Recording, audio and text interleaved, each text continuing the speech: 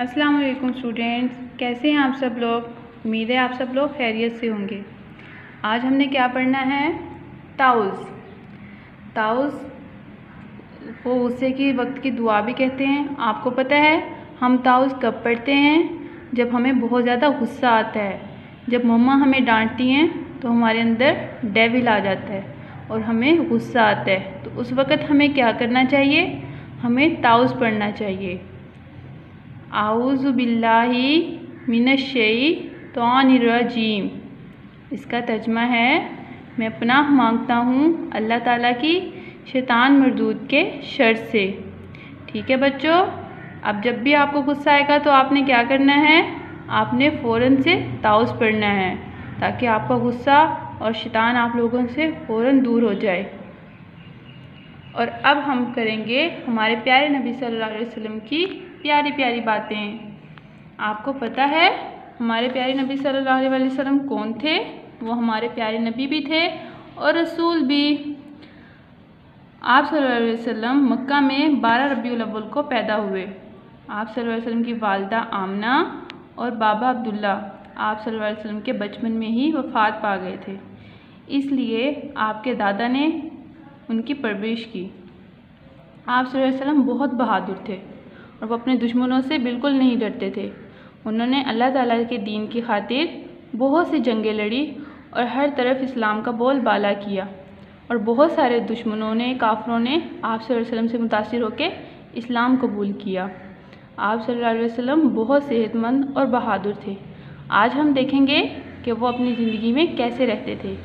उनकी ज़िंदगी बहुत सादा थी और वो बहुत सादा खुराक खाना पसंद करते थे। आज हम देखते हैं कि आप सल्लल्लाहु अलैहि वसल्लम की ग़िज़ा में कौन कौन सी चीज़ें शामिल थी। आप सल्लल्लाहु अलैहि वसल्लम की पसंदीदा ग़िज़ा में खजूर, दूध, जैतून और शहद जैसी चीज़ें शामिल थी। आप सल्लल्लाहु अलैहि वसल्लम को खजूर बहुत पसंद थी। खजूरों की आप सल्लल्लाहु अलैहि वसल्लम ने बहुत तारीफ़ की है।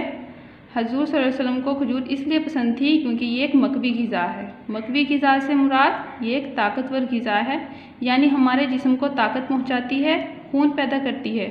सब फलों में से खजूर में सबसे ज़्यादा तोानाई होती है।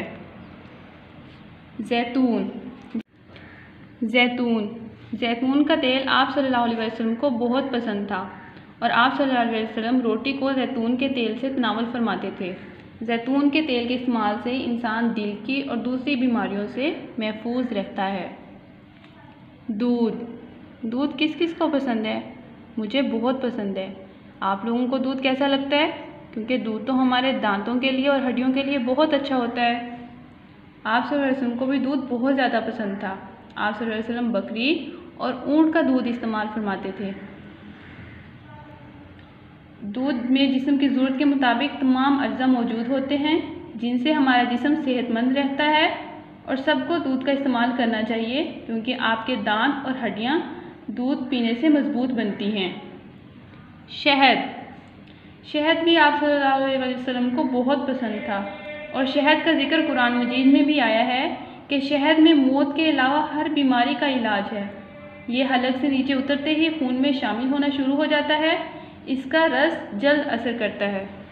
उम्मीद करते हैं आपको आप वसल्लम की ज़िंदगी के मतलब जानकर बहुत अच्छा लगा होगा।